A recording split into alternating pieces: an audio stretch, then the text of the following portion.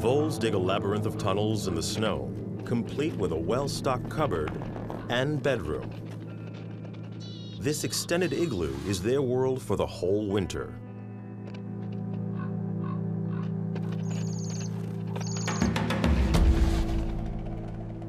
The blanket of snow offers protection from some predators. But being out of sight is no defense from the great gray owl. This is one of the North's greatest snipers. Her face is the natural equivalent of a radar dish, its round shape amplifying the faintest of sounds. Even the quiet rustle of a vole moving under two feet of snow. Turning her head focuses on the sound.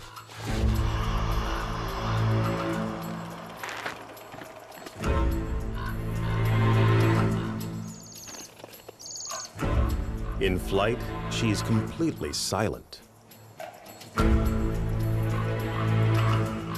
Her prey doesn't suspect a thing